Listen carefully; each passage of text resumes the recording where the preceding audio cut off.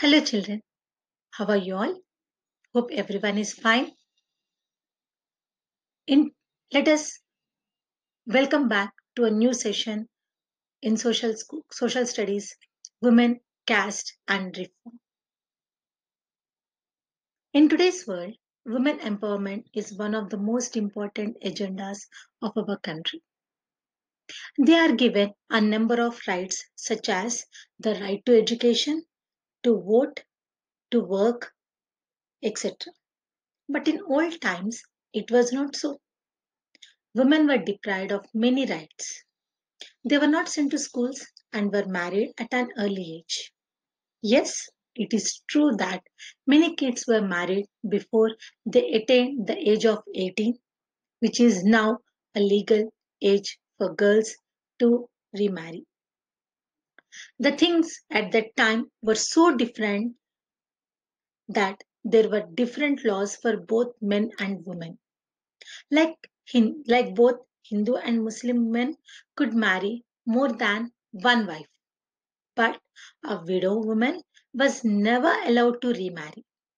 Moreover, if a woman died at her husband's funeral, she was praised and was termed as sati. The word sati is used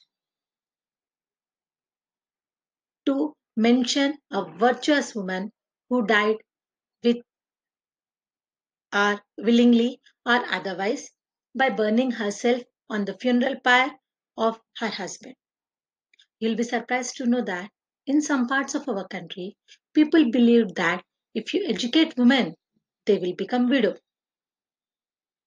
Women were not given education, nor did they have any right over their ancestral property.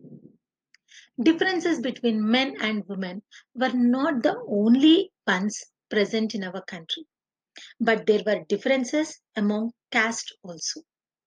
Brahmins and Kshatriyas were considered upper caste. Vaishyas, who were the traders or moneylenders, were placed after them.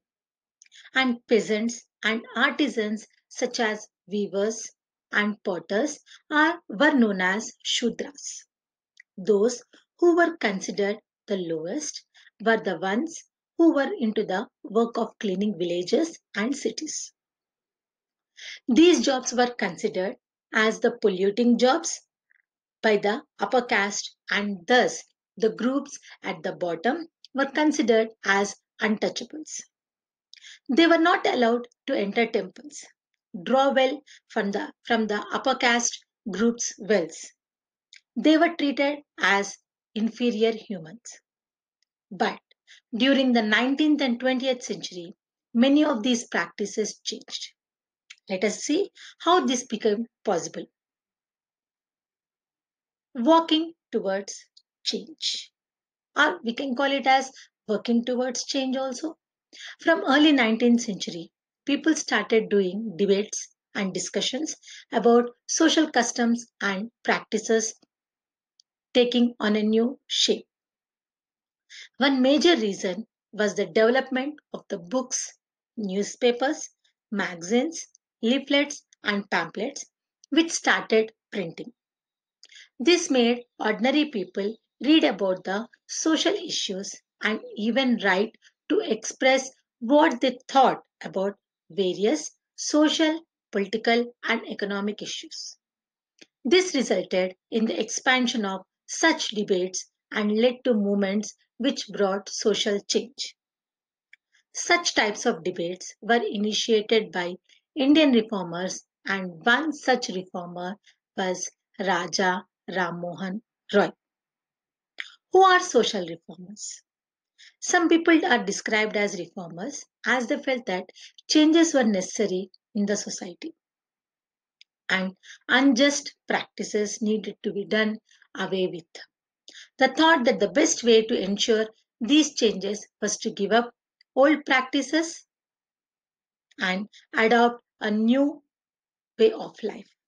Examples of some great reformers are Raja Ram Mohan Rai, Ishwar Chandra Vidyasagar, Swami Dayanand Saraswati, Tarabai Shinde Pandit Ramabai, Begum Rokeya, Sakhawat Hossain. Raja Ram Mohan Roy. He founded Brahmo Samaj which later came to be known as the Brahmo Samaj in the in Calcutta people like Ram Raja Ram Mohan Roy are known as reformer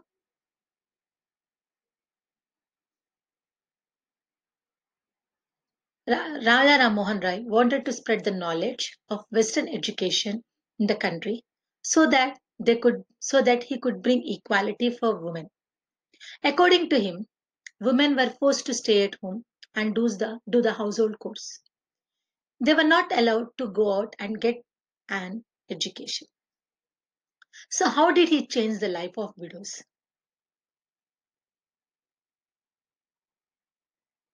The thing which had a major effect on Raja Ram Mohan Roy was the bad condition of widows in India. So he began a campaign against the practice of sati. Ram Mohan Roy was a learned man who knew many languages such as Sanskrit, Persian, and several other foreign languages. Through his writings, he tried to prove that there was no evidence of sati system in the ancient text. By the early 19th century, as Britishers began to criticize the Indian traditions, they banned sati system in the year 1829 because of the attempts made by Raja Ram Mohan Roy. Later on, many other reformers followed in the footsteps of Raja Ram Mohan Roy and started using various phrases from the early text to prove that most of the traditions which were being followed by the Indians were against the early traditions. For example, Ishwar Chandra Vidyasagar uses the ancient, used the ancient text which supported remarriage of a widow. Due to his suggestions, Britishers passed the Act of Widow Remarriage in the year 1856. Many people who were against the remarriage of widow, widows opposed Vidyasagar and also boycotted them, him. By the second half of the 19th century, this movement spread to the other parts of the country. For example, Viresalingam Pantulu formed an association for widow remarriage in the Telugu speaking areas of Madras Presidency. Even young intellectuals in Bombay pledged to work for the same cause. Just like them, Swami Dayanand Saraswati also supported widow remarriage and founded a new reform association in the north known as Arya Samaj. Though many reformers were supporting widow remarriage act, but the number of widows who actually married was very low. Those who married were opposed by many of the conservative groups and were not easily accepted in the society. As more and more reforms were taking place during the half of during half of the 19th century, a new idea of educating girls came. This led to the beginning of educa- girls' education in society in the society. With the efforts of many reformers, girls' school was set up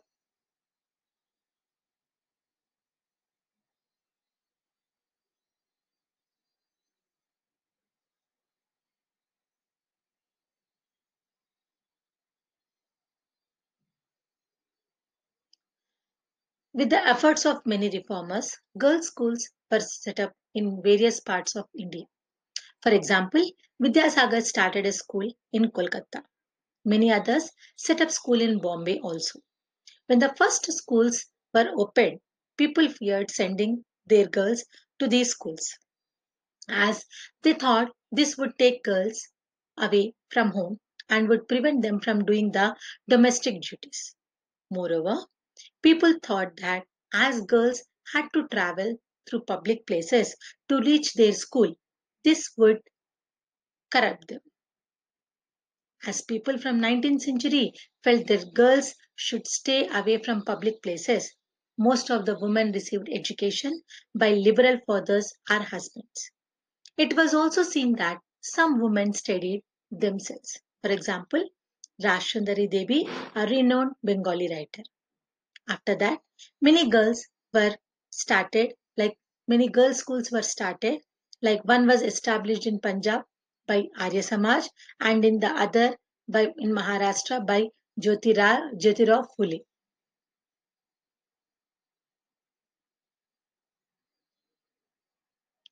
Even in many noble Muslim households in northern India, women were taught to read the Quran in Arabic. They were taught by women who went to teach at their homes. Some of the reformers were Mumtaz Ali. In the beginning, women were taught to read about religion and domestic management in a language which they could understand. Later on, many women who got the chance to get educated started writing about the ill condition of the women in India. Women wrote about women. In the early, uh, early 20th century, Muslim women like Begums of Bhopal played a crucial role in promoting girl education. They founded a primary school for girls in Aligarh. A woman named Rukhaya Sakhawat Hussain started a school in Patna and Kolkata for Muslim girls. She fearlessly criticized the conservative ideas by arguing that religious leaders of every faith granted at inferior place by to women. By the 1880s, Indian women started entering universities. Some of them became doctors, some became teachers.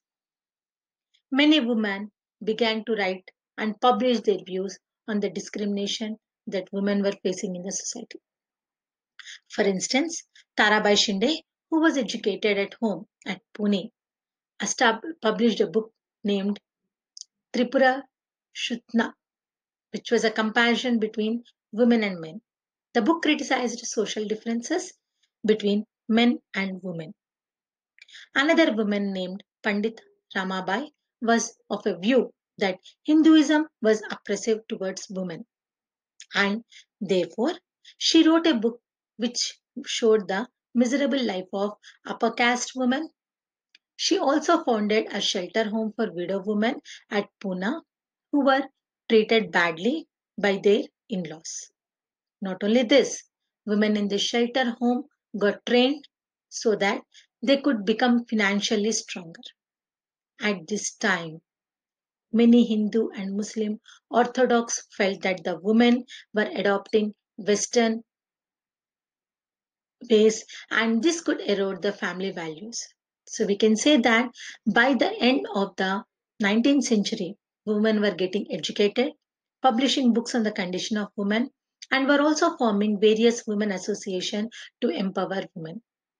In the 20th century, leaders such as Jawaharlal Nehru and Subhash Chandra Bose also supported the demands of equality and freedom for women. Many national leaders wanted the women to be given the right to vote after independence. However, till then, women were asked to concentrate on the anti-British struggle. As the women organizations grew and voice against child marriage also became stronger,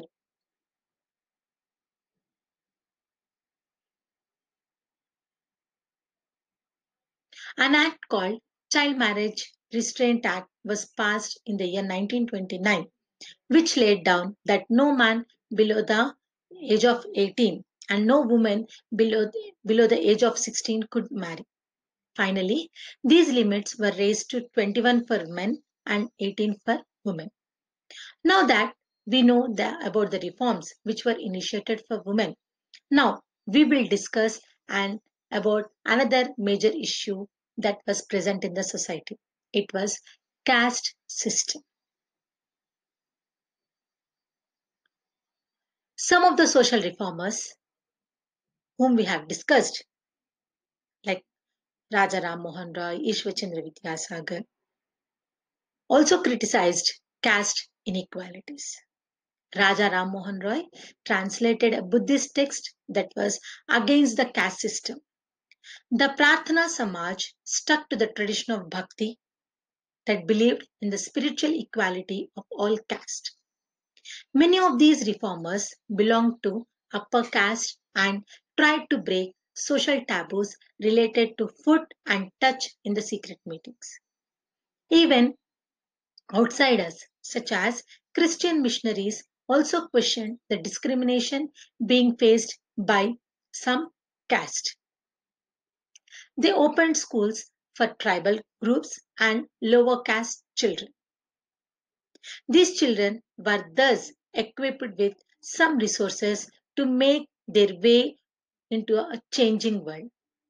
On the other hand, many poor deserted their villages in search of work. They found factories in the fact in they found work in the factories which were in the big cities. This led to the expansion of cities. So the demand for labor rose as they were required to dig drains, make roads and buildings and clean the cities. Thus, so many people like diggers, coolies, sweepers, rickshaw pullers, etc. were required. The poor from the villages started moving to the cities.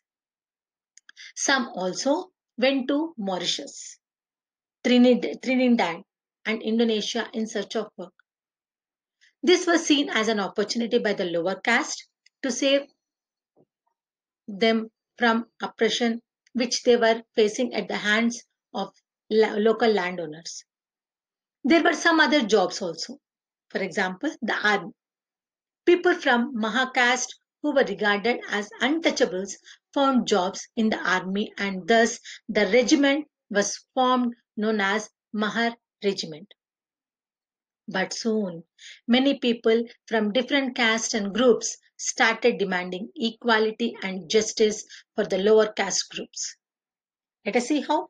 What was this?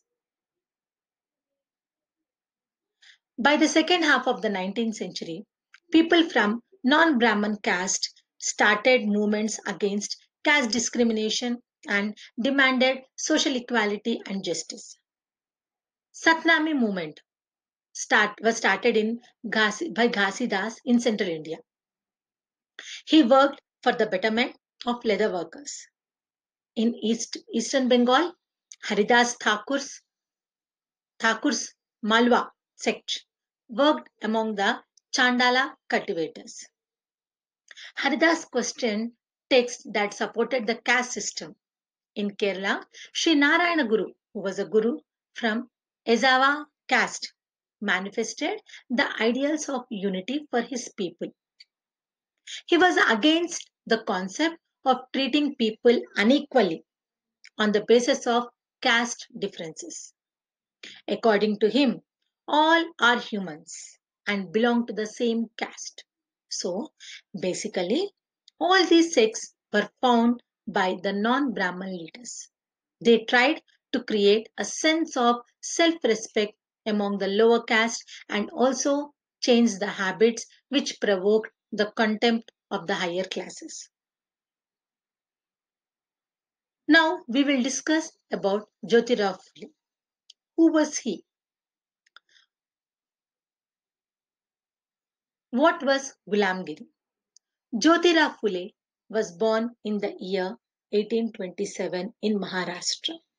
He studied in schools set up by Christian missionaries. On growing up, he developed his own ideas about the injustice of caste society. He attacked Brahmins by saying that they were not superior to others. He said that Brahmins were the Aryans who came from outside the continent and defeated the true children of the country. As Aryans defeated the population of the this country, they started dominating over them, considering them to be the low caste people. According to Phule, the upper caste had no right to their land and power. In reality, the landowners were, were so-called low caste. He founded an association named Satya Shodhak Samaj and propagated caste equality. He claimed that there was a golden period before Aryans came to our country. The lower caste were the cultivators and they lead a fair and just life. In 1873, Phule wrote a book called Gulamgiri and dedicated it to the American Civil War in which Americans had fought to free the slaves. So, we can say that Phule was against all forms of inequality. He was even concerned for the plight of the upper caste women. This movement of caste reform was also carried forward by other Dalit leaders such as Dr. B.R. Ambedkar and E.V. Ramaswamy Naikar. So, how did Dr. Ambedkar stand against the caste? This movement of caste reform was also carried forward by other Dalit leaders such as Dr. B.R. Ambedkar and E.V. Ramaswamy Naikar. So, how did Dr. Ambedkar stand against the discrimination and what steps he took for that? Who could enter temples? Ambedkar had noticed this since his childhood that being from Mahar family, he was never allowed to sit in the class with upper caste boys or enter the temple. So when in 1927 he returned from the US where he did his higher studies due to the fellowship which he had received, he started fighting against this injustice and made three attempts of temple entry movement between the years 1927 and 1935. This outraged Brahman priest as Dalits used water from the temple tank. His main aim was to make people see the power of caste prejudices within the society. The non-Brahman movement. In the early 20th century, the non-Brahman movement was started by those non-Brahman caste that had access to education, wealth and influence. They argued that Brahmins were the invaders. They were the Aryans from the north who had conquered southern lands from the real inhabitants of the region, the Dravidians. E.V. Ramaswamy Naikar or Periyar, he was called, was from the middle class family. He was an ascetic in his early life and had studied Sanskrit scriptures thoroughly. Later on, he became the member of the Congress, which he left because of the caste discrimination. He, he experienced at a feast organized by the nationalist. The forceful speeches, writings, and movements of low caste, lower caste leaders led to rethinking. But Orthodox Hindu society also reacted by founding Sanatan Dharma Sabhas and Bharat Dharma Mahamandal in the north and associations like the Brahmana Sabha in Bengal. The main aim of these associations was to justify the caste distinctions as the cornerstone of Hinduism. Such debates, debates and struggles are still present in our society. There were many organizations formed by various reform leaders like the Brahmo Samaj, who was, which was formed in the year 1830 by Keshav Chandra Sen. Ramakrishna Mission, founded by Swami Vivekananda after his guru's name Ramakrishna Paramahamsa. Prarthana Samaj, founded in 1867 at Bombay. Veda Samaj, inspired by the Brahmo Samaj, which was established in Madras in the year 1864. The Aligarh movement, which was founded by Syed Ahmad Khan in 1875 at Aligarh. The Singh Sabha, which was formed at Amritsar in 1873. So, this was all about the reformers and the movements which led for the benefit of the women and caste. Thank you children. See you again in the next video.